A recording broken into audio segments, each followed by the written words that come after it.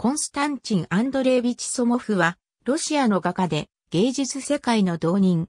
3年がかりの最高傑作、聖意の婦人は、18世紀の肖像画家の手法で描かれている。コンスタンチンは、コンスタンティン、ソモフは、ソーモフとも表記される。サンクトペテルブルクで生まれた。美術史研究者で、エルミタージュ美術館の学芸員の家庭に生まれ、18世紀の西欧美術に早くから興味を持っていた。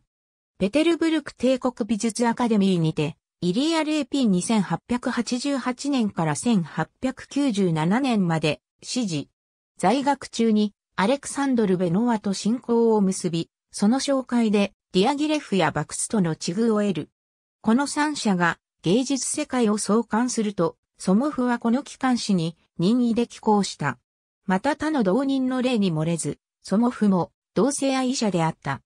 1910年代を通じて、ロココ風の道化師の場面や挿絵をアレクサンドル・ブロークの詩集に寄せている。ソモフはワットーやフラゴナールに霊感を受け、水彩やグワッシュで描くことを好んだ。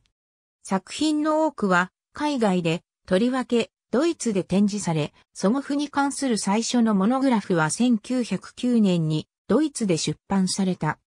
10月革命の後にアメリカ合衆国に移住するが、この国の環境が自分の芸術にはまるで相入れないと悟ってパリに移った。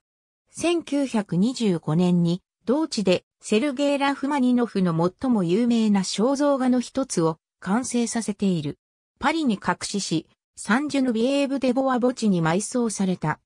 2007年6月14日にソモフの風景が、虹がクリスティーズのオークションに出品され、330万ポンドの価格をつけた。これはクリスティーズで競り出されたロシア美術としては最高記録を更新した。ありがとうございます。